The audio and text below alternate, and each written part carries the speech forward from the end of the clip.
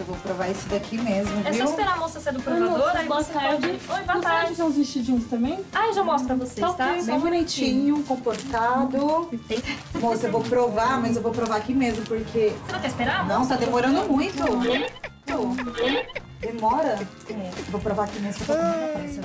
Sério, sério. Mas o que, que é isso? Que absurdo é esse você trocando de roupa aqui na frente do meu marido e você também tá olhando Eu não o tô quê? olhando, não tô Não, olhando, tá não. não, é eu que tô olhando. Eu tô Qual olhando. que é o problema, moça? Todo o problema do mundo, se na loja tem provadora, sua obrigação é Provador a tá muito roupa lá longe, eu quero dentro. provar aqui, eu vou Não, provar que aqui. calma o quê? Ela tá Calma, amor, pelada calma. O aqui que você achou dessa roupa? Tá bonita? Achou nada, ele não tem nada que achar não. Ei, calma, o quê? Briga com Vamos embora, não é toma não, vergonha na sua cara, você é uma louca. Ah, sim, que bonita, né?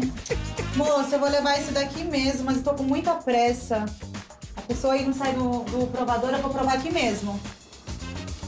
Pegadinha inédita no João Kleber Show. Vamos provar aqui mesmo rapidão. Tá louca, garota? Vou provar minha roupa, não tá vendo? Mas não é aqui que se prova, não. Não tem ninguém aqui na loja pra ver isso, aqui. não?